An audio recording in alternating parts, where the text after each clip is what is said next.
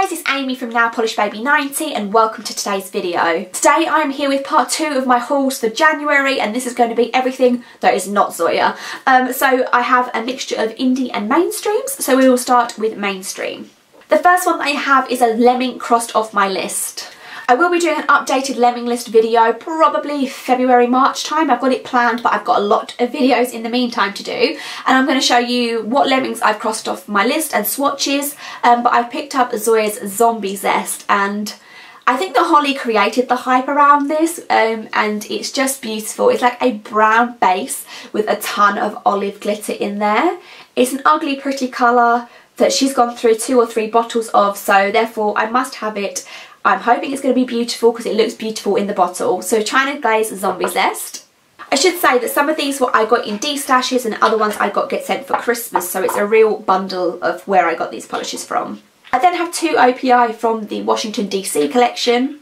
I have a feeling that we're going to be starting to see this collection pop up more in like TK Maxx and discount places and I'm going to pick up a lot more. This first one that I have is called Madame President and it's a bright like a raspberry but more of a red toned raspberry than a pink toned raspberry. And the other one is CIA colour is awesome which is this beautiful deep like blue turquoise grey. Um, my colour descriptions are on point today. So those are the two that I've got for now but I definitely will be on the hunt for some more of those before we start the indies, and of course all indie sellers will be linked down below, I also got for Christmas a She Nail glass nail file. Um, Holly has worked with this brand for a little while now and I've never actually used a glass nail file. Always been a little bit scared to use one so this is going to be my time um, and I got the one in the leopard print. The rest is all indies. Um, some other ones that I got as Christmas gifts. I got something from Sarah at Polish Me Royalty. For Christmas she gifted me two new exclusive um, polishes. The first one is called Pure Morning and this is a white base with a tan. Can you pick that up? Oh, look at that. It looks like snow.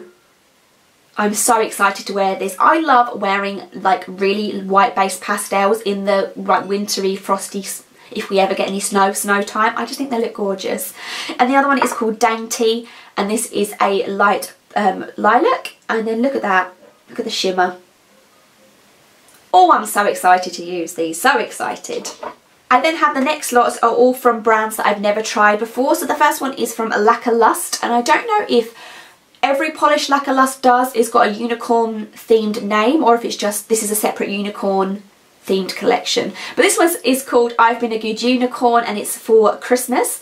Um, and it's like a cousin of Twinkle Lights by um, Nine Zero Lacquer where it's a holographic base with some um, sheer green and red glitters in there.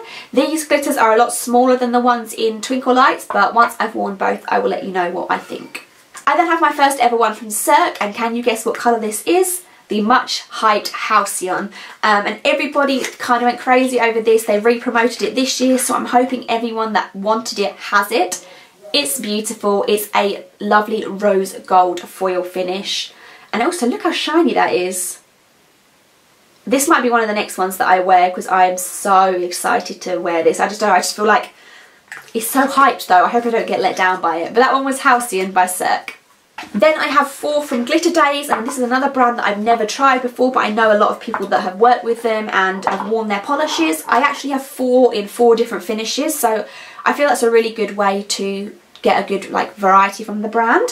The first one is called Grunge and it is a deep um, purple cream. Look at how cute the Glitter Daze bottles are.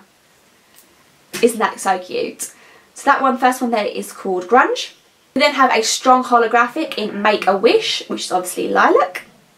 We have a multi-chrome which is called Spaced Out and this is mainly blue but obviously multi-chromes into a variety of different colours. And we have Moonlit Mermaid which I love when two like trends collide and this is flakies and multi-chrome in a bottle. So it's in a multi-chrome base and then there is a ton of flakies in there too. And I'm not I'm sure the flakies may be multi-chrome too.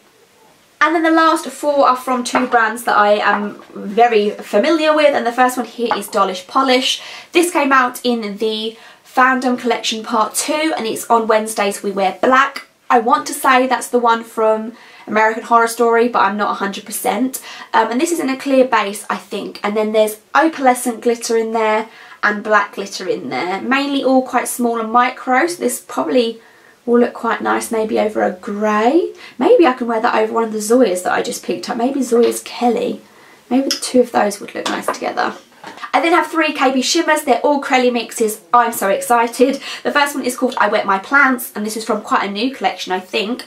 And this is a light, turqu light turquoise, what am I talking about? A light purple base and then it's actually got quite a lot of smaller glitter in for a Crelly mix from KB Shimmer and they're mainly, or as you can see, quite metallic.